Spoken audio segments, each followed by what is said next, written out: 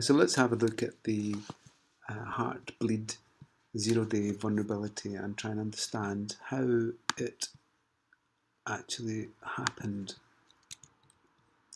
Okay, so what it is, is that it takes, uh, it, it exploits the OpenSSL library which is used in many websites, especially in, in Linux, Apache type websites, and often it is there to, to be able to create the SSL and TLS connections between the client and the, server. So unfortunately there's a vulnerability in there uh, related to the heartbeat between the, the two systems. And what can happen is that uh, Eve, in this case, can actually craft a payload which will open up the memory on the server, typically up to 64 kilobytes, and to be able to examine the running memory and then expose that back to the, the intruder. In this case, we can see there are usernames and passwords with inside the memory.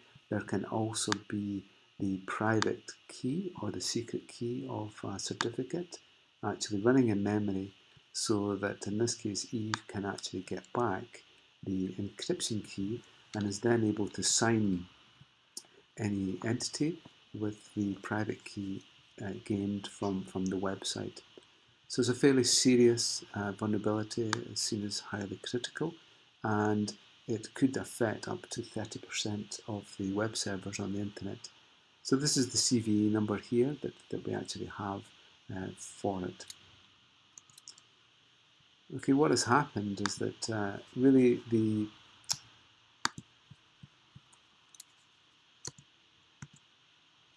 uh, the, the the payload or the, the size of the payload is unchecked. So what happens when, when this value, come, this data buffer comes back from the client, then this will actually load up a certain size of payload. So it wasn't meant to have a great deal of bytes in there, but later on in the code, uh, there is an allocation of memory which relates to the size of the, the, the data buffer coming in from, from the, the client.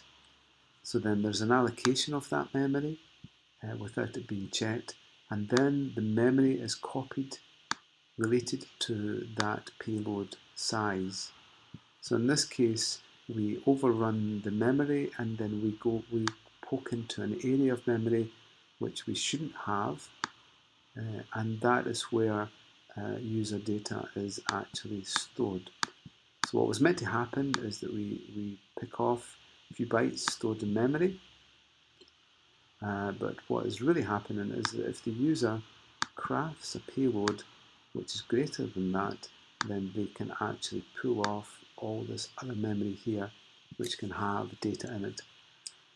Okay, so there's the writing of the data to the uh, back into the socket, back to the to the to the client. So we've got this payload. It's larger than expected. We allocate an area of memory. We then fill that memory up from our memory within the machine, and then we send that back. Okay, so in that way, the data is actually from memory is written back to the, to the, to the client. So this is what should have happened, is that there should have been some check on the value that comes in from the, from the payload, and if it was greater than a certain amount, uh, this record size here, which breaches uh, this, this RFC here, then we return back zero or, or a null. And only then would we then go on and copy it back to the user. Okay, so let's have a look at the OpenSSL. So OpenSSL is a fairly standard program. It does lots of cryptography and, and so on, very useful. And the first thing we should check is the version number. And the version number, if it's 101A to F, then it is vulnerable to this to this uh, this this vulnerability. So we can see that this one actually is. So we can actually have a look. Uh, so OpenSSL allows us to create a connection to a website uh, to be able to see if we can debug the connection. And if we see the heartbeat being set, then we know that there can be a problem here. So this is what we get back from our, our connection here to port 443. And you can actually see there is the heartbeat uh, actually in, in there. Okay, so this shows us things like the certificate uh, and, and so on. We can see all the details of the connection and then all the encryption used. And then eventually we get the web page that comes back uh, from the server from, from there. So there is also a, a website that's been created that allows us to be able to check for any potential problems. So we'll just pull that website up now. And we'll just have a look. And so we go and it should show us if, uh, if it's safe or, or not. There is also a script that's been created which actually uh, which actually shows the, the which actually shows the, the vulnerability. So in this case, what happens is that we this is our the the the payload that we actually send here. So if we want to create an IDS signature, we would actually pick off some of these bytes and actually send them on. So what we'll we'll just open up Nano.